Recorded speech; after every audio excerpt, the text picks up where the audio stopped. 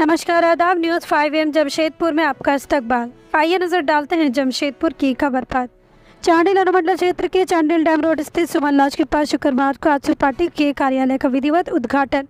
AJSU party के केंद्रीय महासचिव सह पूर्व ईचागढ़ विधानसभा के प्रत्याशी हरिलाल महतो के हाथों संपन्न हुआ।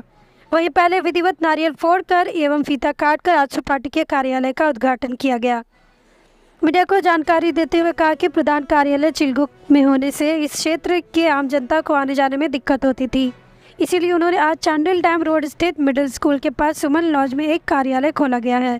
इस मौके पर आजसू वरिष्ठ नेता माकड़ महतो, प्रखंड अध्यक्ष दुर्योधन गोप बिमलेश मंडल आदि कार्यकर्ता उपस्थित थे।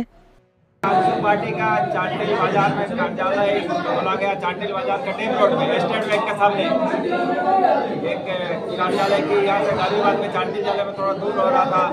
कुछ भी करने के लिए इसलिए आप यहाँ एक स्टाफ रहेगा कि गरीब आदमी का जो सुख सुविधा जो भी प्रॉब्लम है, यहीं से सब दूर होगा। इसी के लिए पार्टी का कार्यालय चांडिल बाज़ार में निम्न में जो कार्यालय कोचिंग सेंटर चलता है, क्या यहाँ पर सुविधा क्या नहीं बात ये अगर कोचिंग सेंटर का देखेंगे। इसमें तो कोचिंग सेंटर होगा नहीं, और जगह अगर इससे बड़ा मिल जाएगा तो यहाँ पे मेरी कोचिंग का चालू करेंगे।